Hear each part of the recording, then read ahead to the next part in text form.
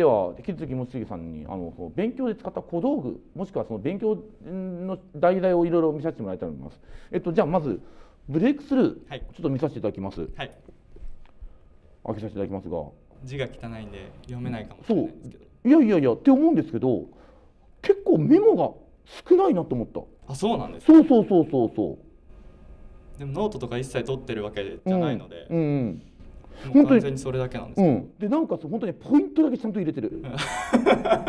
うん。本当ですか、うん。うん。本当ポイントだけちゃんと入ってる。うん。だからメモが多すぎる人って結構ハマるんですよね。でメモが全くない人って普通いないんですよ。うんうん。でも本当にピンポイントにいいとこだけやってる。うん。なんか本当に重要なポイントだとうん。先生の声がうん。大きくなるじゃないですか、あまあそうだね。それを見極めてっていう部分と、うんうんあとやっぱり暗記しろってうん。いう部分は、うん。そこを中心にうん。メモするっていうこと多かったですね。そう。あの、ね、こっちも見てて2つそういうパターンがいる。あの、ね、ずっとこっちが喋ることを本当に全部近いことをメモる人がいればもう繰り返した時だけしかメモしないでしょ、うん、それも一つのやり方なんだよね。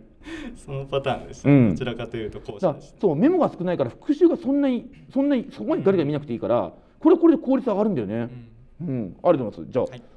すいません。じゃあ次なんですがあのーこちらなんでしょうか？これは模試で解けなかった問題最後の方で本当に解けなかった問題うん。を集めてうん。ビリビリに破いちゃったというか、ああでこの日付があれですね。解けなかった日付でしょうか？そうです。間違えた問題のうんうんうん。日付で。うん。素晴らしい。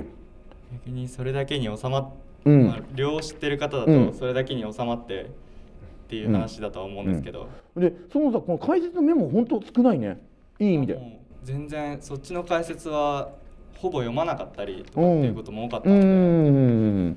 そうね。これね解説本当に線を引くぐらいでもいいだろうし本当にいや本当に端的なところばっかりつけてるしいやつくづく多分ね勉強に向い勉強だんだん向いてきたんだね。そうですね最後の方。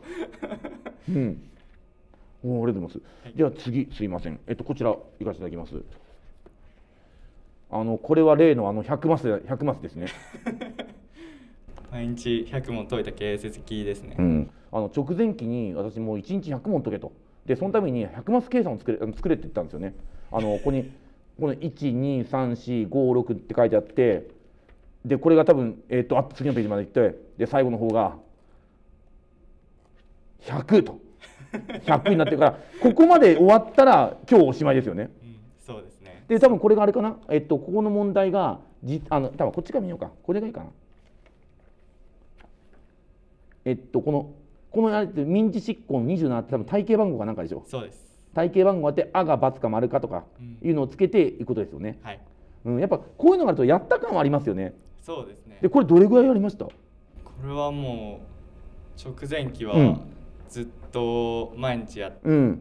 て、いつ頃からかな？いつ頃からでしたっけ？うん。100問解き始める、えっとね100問は4月から。4月から？じゃあもう4月から毎日やって、うん。でその隣のチェックついてるのうん。が何問かあると。思うん。ですよ、そこが間違えたところ。あこれやつねこれやつか、はい。うん。そこを見て、うん。後々復習するときにうん。利用するっていうのが多かったです。なるほどね。あのまず100問だけ先やっちゃってその後に復習の時にあこれ見ようかとああなるほどなるほどね。なんあかそれこそ教科ごと科目ごとうん。復習しようかなっていう日とかうんは不等法だけ見ていって、うん。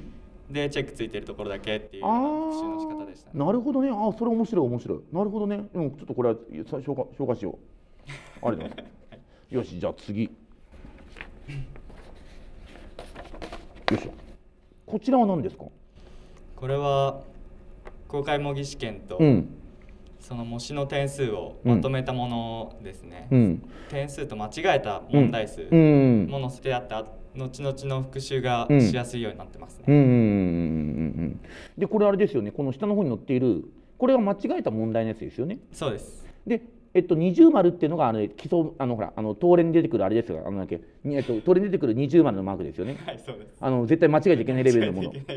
うん。何個か間違えちゃってるそう。で丸がまあ普通のレベルというかちょっと難しい目で三角が取れなくていいと。はい、そう。これやってるとねこれやりながら相談しましたもんね。そうですね。これ毎週送って相談してっていうですよね。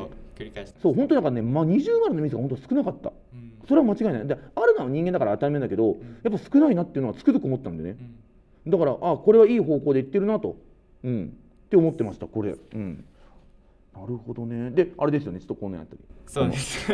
えっ、とここから2週間こんな感じはどうだろうって。これあれですもんね。私に相談ですかね。ないですもんね。本当の直前期の時に、うん。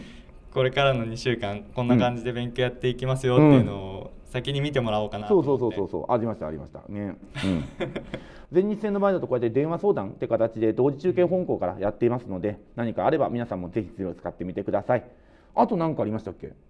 あとは何か？あとは大丈夫。大丈夫ですかね？はい。わかりました。つくづえっ、と現場からは以上です。お疲れ様でした